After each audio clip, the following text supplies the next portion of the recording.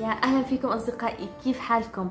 هالمرة الفيديو عن النبتة الأنيقة المتألقة المناسبة للإضاءة العالية أو يعني ممكن ممكن تتأقلم مع الإضاءة المتوسطة وبدها مكان واسع لأنها بتتفرع كثير هلا بفرجيكم كيف.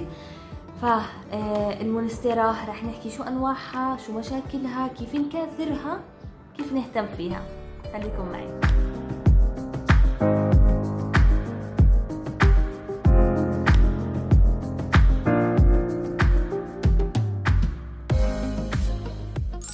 بداية جيبوا العصير تبعكم الإشي البارد المهم عشان آه، هيك نستمتعوا لأنه الدنيا شو بصراحة أنا عم بصور الأيام كتير شو ومش مشغل المروحة عشان الصوت يكون واضح عشانكم. يعني أنا عم بسيح حاليا. فعم بشرب باربيكان حاليا الشعير عشان هيك أمزمز وأنا بسولف معاكم. طيب يا جماعة آه، نحكي عن المونستيرا. هلا أنا ليش بلشت بالورقة الخربانة أو الميتة أو المحروقة بالأحرى؟ عشان آه، أحكي لكم ما تحطوها بالشمس لأنه هاي البقع بتصير لما تنحط بالشمس وكمان هي عم بتصير ورقها أصفر لأنه هي عم بتبدل. لو إنه لو إنه آه، في نقص حديد أو نقص عناصر كان بيصير في على الأوراق الباقية لكن هو بس على ورقة واحدة وهي أصلا قديمة ولازم خلص إني أقصها. بس أنا ما قصيتها حكيت آه، بقصها معاكم عشان آه، نعرف كيف تنقص من وين شو الجزء اللي لازم ينقص منه.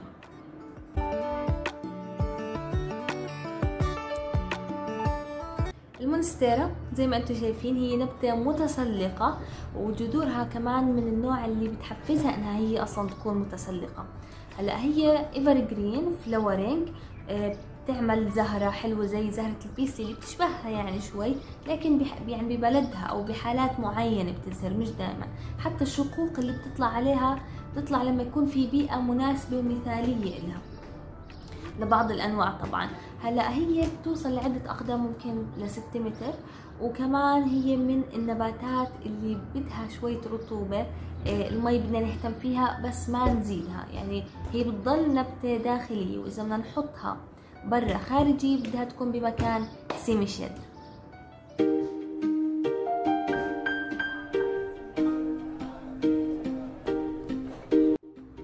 ثلاث أنواع للمونستيرا رح نحكي عنهم. أول وحدة Monstera deliciosa Monstera adansonii Monstera variegata هلا أول وحدة ال deliciosa اللي هيوج بتكون ورقتها وكلها holes بتكون آه، فيها هاي الثقوب.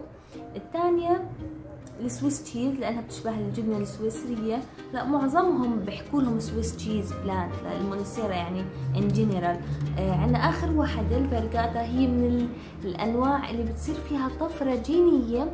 فبالتالي الأنسجة بتبطل قادرة على إنها تنتج الكلوروفيل اللي بعطي اللون. فبصير في عنا تغير باللون أو بقع بيضة عليها فبتكون لونين أخضر وأبيض. المكان المناسب للمونستيرا. بدي أعمل balance between sun and shade يكون آه، مكان bright لكن indirect sun فيه. مكان فيه إضاءة منيحة لكنها غير مباشرة من الشمس لأنه حكينا الشمس إيش بتعمل؟ حروق في الورقة.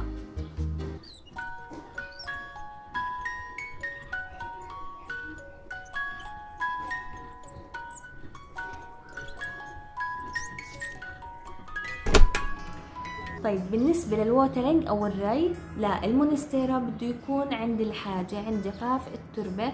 ممكن نحكي وانس ويك يعني مرة بالأسبوع أو ممكن مرتين بالمدن اللي بتكون كتير شوب. هلأ لما بدي أجي أروي بمسك هاللبتة شايفين كيف؟ بشوف بمسك التربة. بحاول أدخل يعني إصبعي بالعمق على قد ما أقدر بشوف. هي رطبة؟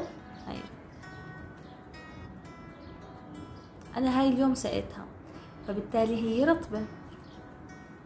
فما برويها من هون لعبين ما تجف. يعني بدي أخلي التربة تجف بين الري والتانية. مش بسرعة أول ما أشوفها نشفت بسرعة أروي لا خليها تجف شوي وبعدين برويها. طلعوا كيف بضل على الإيدين لما تكون التربة رطبة. البيتموس بضل على الإيد. فهيك بعرف إنه هي آه رطبة. طيب هلأ إذا صار عندي over watering يعني أنا زدت الري فبصير الأوراق لونها أصفر بس مش هذا الصفار. بس كمان إذا صار في عندي under watering إني أنا عطشتها برضو بصير عندي صفار مع بقع بنية مع ذبول فأنا بدي أراقب العلامات. ماشي؟ فبراقب العلامات اللي مع الذبول معناته هي بدها مي زيادة وأنا عطشتها كتير ممكن. بعد ما العلماء عملوا دراسات عن نبتة المونستيرا إنه ليش فيها هاي الثقوب وجدوا إن الثقوب موجودة لأنها بتزيد مساحة سطح الورقة بالتالي بتزيد نسبة الضوء اللي داخله بتزيد نسبة الأمطار والمي بتصير تتسرب عليها وعلى النباتات الثانية لأنها بتكون أصلا بالغابات المطيرة اللي كلها نباتات وكلها بتكون جنب بعض فوق بعض ف يعني هاي تسمح للأمطار والضوء إنه تدخل من خلالها. هلا هاي عشان نقصها مع بعض هلأ. في بدي افرجيكم هاي الورقة الجديدة. هاي ورقة جديدة. لونها أفتح. فيها ثقب صغير لسه. طبعا كل ما زاد عمر الورقة بتزيد عدد الثقوب اللي فيها. وكمان حسب البيئة. إذا كانت مناسبة الضوء مناسب في تسميد في ري مناسب آه، بتزيد عدد الثقوب. كانت هاي ملفوفة على بعضها. بعدين يعني كانت ملفوفة.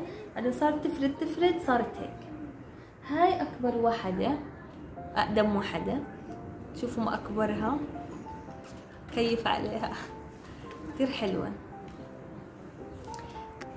طيب هلأ خليني أجيب المقص أفرجيكم كيف بنقصها.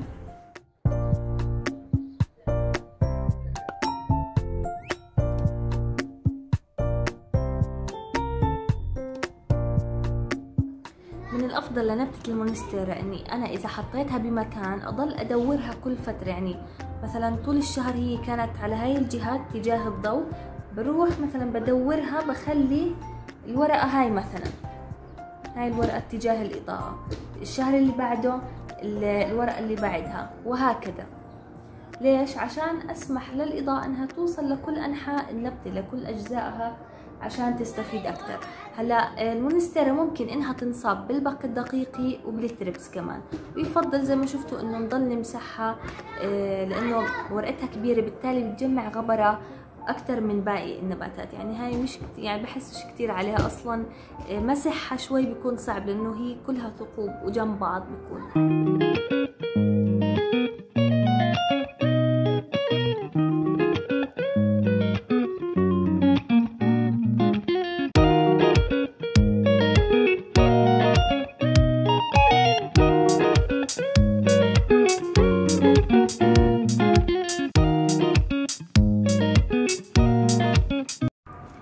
درجة الحرارة المفضل للمونستر اللي هي من 18 ل 30 اللي هي درجة الحرارة المعتدلة. كمان هلا التكاثر ممكن نقص فرع يكون من تحت الجذر اللي بيكون طالع الجذر الهوائي. حكيت لكم إنه بيكون لها جذر هوائي هلا. الجذور ممكن تكبر لدرجة إنه شكلها مش يعني مش مقبول بيكون. فممكن إني أغرسه بالتربة أو ممكن نقصه عادي ما في مشكلة. أو أخذ الفرع كله مثلا أحطه بالمي أو حتى بالتربة مباشرة يعني مش ضروري بالمي لأنه الجذر already هو طالع. طيب هلأ خل إيش في نقطة بدي أحكي عنها؟ آه إذا زرعناها بالبذور آه هلأ إذا زرعناها بالبذور أو بالشتلات وشفنا الورقة ما صار فيها ثقوب معناته بدي أغير الإضاءة الإضاءة مش مش كافية أو الري غير كافي بالتالي بدي أحطها بمكان مناسب ممكن إني أسمدها لحتى تعمل هاي الثقوب. لأن الثقوب هي دلالة على البيئة المناسبة. إيش كمان ضايل طيب هيك آه خلصنا. خلينا هلأ أفرجيكم كيف بنقصها. أفرجيكم بس شغلة صغيرة وأنا بشوبر. طلعوا شو عملت؟ كسرت آه زهرة الأنتوريوم. مش عارفة كيف هيك إيدي إجت عليها انكسرت. فهلأ بحطها بالمي. وإن شاء الله بيمشي حالها. هلأ خلينا نحكي عن تكاثر المونسترا أو مثلا هاي الورقة. شوفوا كيف تعبانة. خلص لازم تنقص. يعني أنا مش شايفة في لها فايدة انه إنه هي تضل. شوفوا كيف.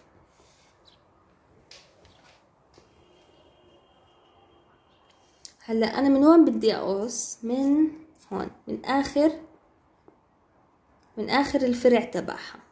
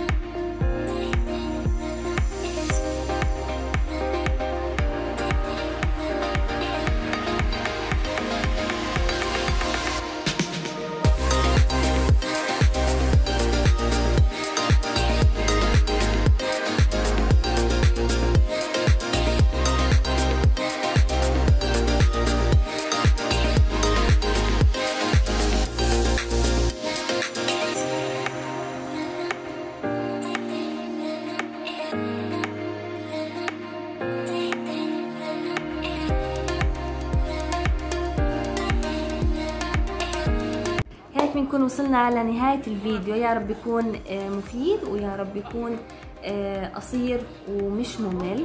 هلا حكينا كل التفاصيل عنها. بدها مكان في إضاءة ساطعة مكان واسع لأنها كتير بتفرع.